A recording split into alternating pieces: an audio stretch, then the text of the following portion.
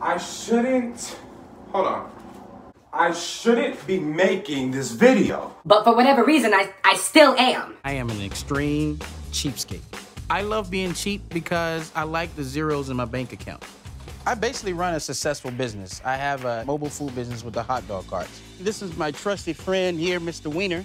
When I pull out my wiener, that's when the magic happens. You need to find a way to reword what the fuck you just said. Everybody wants to take a picture. Everyone's going bananas over this thing.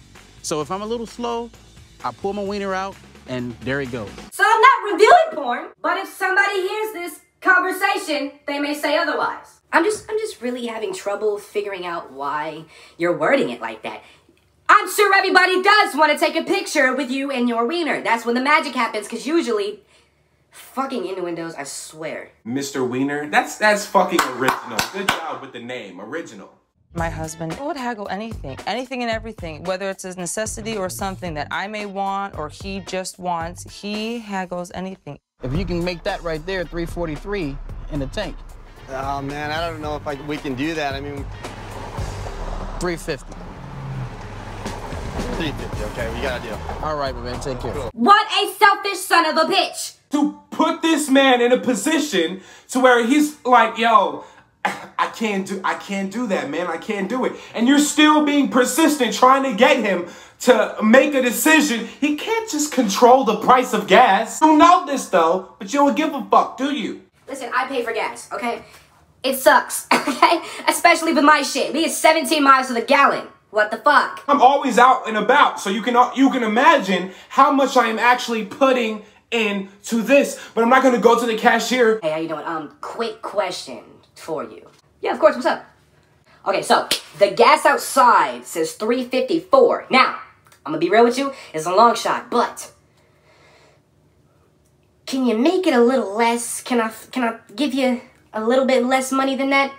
What an asshole. Let me get uh, two bigger burgers and uh, two chocolate shakes, please. 1164. I'm fresh to the window. Thank you. 1164. How dare you charge me 1164, bitch? this isn't gonna go well at all. 1164. Correct. Let's just, how about I just get rid of the 64? Let's just make it $11 even. Did you want to take off a shake or a burger or? No, no, no. Let's keep everything on. Okay, well, um, yep, it would be 1164 then. Let's just take 50 cent off and let's just call it 1150. 50 cents. Uh, how about I throw in some extra ketchup and salt packets in your bag? How about that? My God, I am never taking you out anywhere ever again. I just want to know how many fights they've been in. Over money. She went out, she spent $5 on a burger, a shake, and fries. They had a deal. What a crazy fucking deal. And he like promises to beat her ass if he do, if she does it again. Bitch, I like the zeros in my bank account. Who the fuck you think you are spending shit when I could have haggled that and got it for two bucks? You bugging. When Abdul haggles, I think to myself, this is one more store that yet again I cannot go in. I, you can't go in those stores again. Right here. Yep. Don't always look at the price tag. Um, excuse me. Just want to talk to you a little bit about the prices. Do we have any wiggle room with this, uh, this jacket here? You know, we do try to price our things at a really good price. But what I could do is give you a $10 off. How about another $5 off of each item? Um, because you are new, I will do 20% off. So that's, so we're doing the $10 off of each item. No, I'll do a straight 20%. That brings it down to 327. This next part, I'm kind of embarrassed like for her. So I bring my good friend Rick along. he wants to put this anniversary together for under $25. I'm like, you're crazy. You, there's no way you're gonna be able to do this. I know what stuff costs. It's not gonna happen. He wants to spend $25 on an anniversary for him and his wife that he, his wife that he also loves and cherishes. He stood at the altar and made vows. It was like, I love you. I'm crying now. The guy next to them was like, yo, y'all love each other? You know what I'm saying? You say I do. You say I do. Fucking kiss and go. That's just my idea of weddings. Preachers, they really don't give a fuck. They're like, I just want to get paid um, and go home. I don't need to stay for the party. None of this shit. Scratch to how I think weddings go. He did this whole process for somebody that he genuinely cares about with deep in his heart. So, oh shit, I left a cup in here. He wants to spend $25 on their anniversary. You can't dig in the pocket. It's different if you don't have the money. But you said you have zeros, multiple zeros in your bank account. Pull some fucking money out, get her a nice gift, and ball the fuck out. It's an occasion. Dick? I don't think you can do it. I know I can do it. $25. It's not going to be a very good one. It's gonna be a great party for $25. I guarantee you we can pull this off. Rick really has never shot with me, so he never knew how I haggle or knew that I haggle at all. So I'm sure Rick is gonna be surprised today. I have a strategy when I go in this store. Oh, a strategy. He has a, he has a fucking game plan. He has a plan. Let's see what it is. So the guy had some discounted balloons. It's the thought that counts. 10 to 12 dollars. 10 to 12 dollars? Uh-huh. Hmm. I I can check and see if I've got any clearance balloons. I've got a couple laying around. I can see if I've got something. Clearance? I'm just totally embarrassed. We're up there at the counter, and it's this balloon is two dollars ninety nine cents, and he keeps haggling this guy down. And you fill it up with helium, right? Is that what you do? Uh-huh, yeah. What if we did like three fourths of helium? Well, then it's probably not going to float. I am no scientist. None of that shit. My lights are falling. The fuck up. You non-sticky piece of shit. I'm no scientist or whatever you call it, but Even I know if you don't put that the less hu- the less amount of helium you put into a balloon, the less it is going to float. Over time, it seem it tends to do that. and from experience, I fucked with balloons when I was little. Helium balloons, ones that floated. I used to always walk, run around the house, just bouncing them, throw them up, trying to catch them and shit, hit it with my head and whatnot. I'm like, Mom, look. And she's like, sit the fuck down. So I know this from experience. Let me give you an example. The more love and the more thought that you put into your wife, probably the happier she'll fucking be.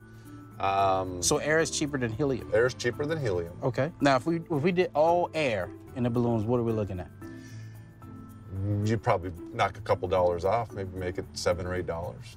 If you do something a little simpler, Yeah. something with air. Is it oxygen free? We breathe oxygen every day, but I have to pay this guy for his oxygen? No, I'll use my own oxygen. It's not oxygen. It's not oxygen. Sure, do we breathe out a certain amount of oxygen? Oh, oh yeah. Of course we do. It's just how the human body, you know,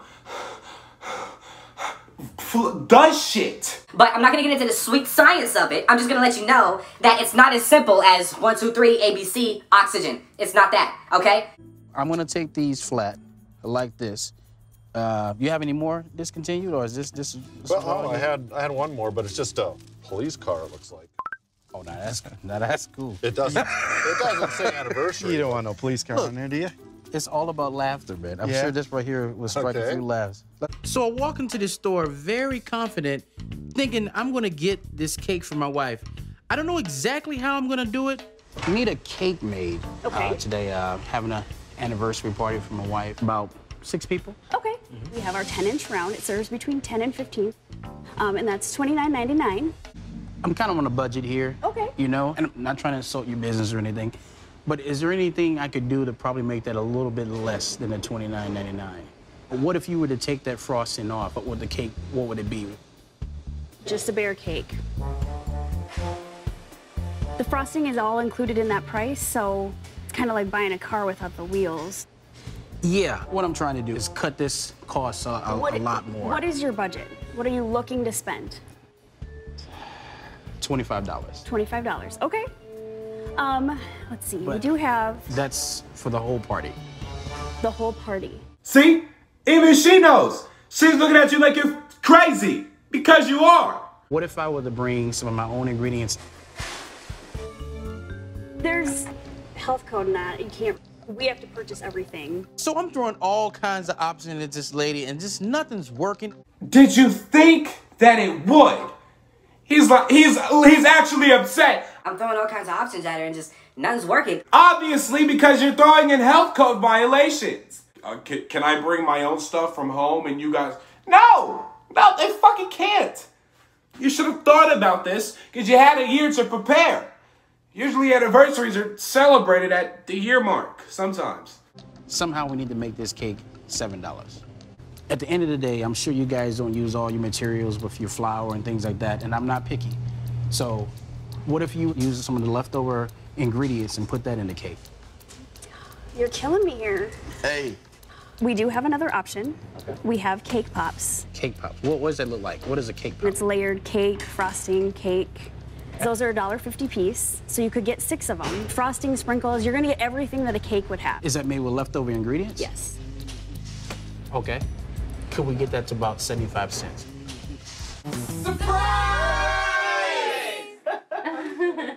You